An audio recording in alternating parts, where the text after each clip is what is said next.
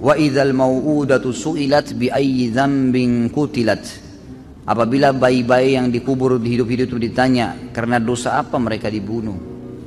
Lalu Nabi SAW terangkan ayat ini dalam sabdanya diriwayatkan Imam Bukhari dalam kitab tafsir bab fala taj'alu lillahi andadan wa antum ta'lamun nomor hadisnya 4477 Imam Muslim dalam Kitabul Iman Imam Tirmidzi dalam Kitabut Tafsir An-Nasai dalam Kitabut Tahrimud Dam dan Abu Daud dalam Kitabut Talaq serta Imam Ahmad juga meriwayatkannya.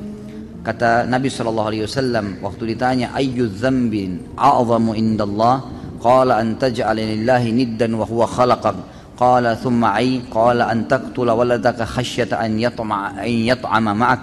Qala thumma ay qala an tuzani halilata jarik dosa apakah yang paling berat di sisi Allah berat di sisi Allah maksudnya Allah tidak suka dengan pelakunya dan untuk memaafkannya pun itu butuh proses tidak langsung spontanitas. Beliau menjawab, Nabi SAW menjawab, engkau menjadikan sekutu bagi Allah.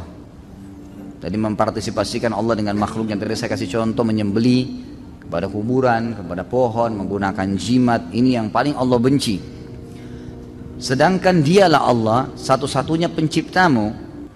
Orang itu berkata lagi, kemudian apa lagi ya Rasulullah? Beliau menjawab, engkau membunuh anakmu karena takut ikut makan bersamamu ini anak saya kalau besar nanti maka susah saya punya anak sudah tiga sudah empat nanti gimana memberikan makan ingat firman Allah subhanahu wa ta'ala dalam ayat yang lain a'udzubillahi minasyaitonirrajim wala taqtulu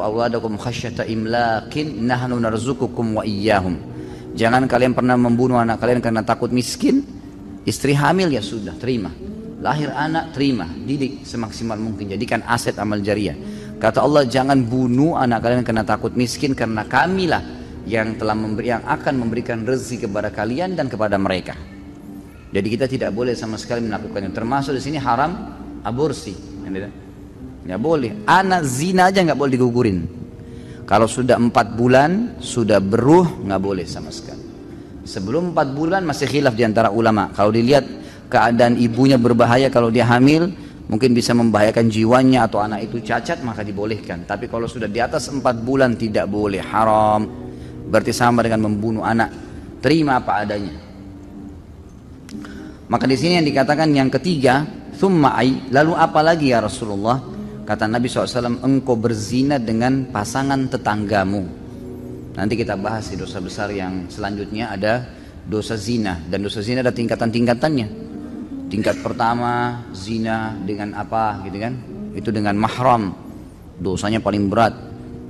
Dengan anak dengan saudari dengan ibu dengan tante itu dosa zina paling berat. Nanti ada dosa zina dengan istri tetangga dosa zina dengan, dengan suami atau istri tetangga zina dengan pasangan istri-istri para mujahidin dan seterusnya. Nanti baru sampai zina yang paling ringan adalah zinanya seseorang dengan pelacur atau apa itu tetap zina dosa besar. Tapi dosa ada zina yang berat sekali. Salah satunya adalah berzina dengan pasangan tetangga. Ini ada sendiri kedudukannya di sisi Allah subhanahu wa ta'ala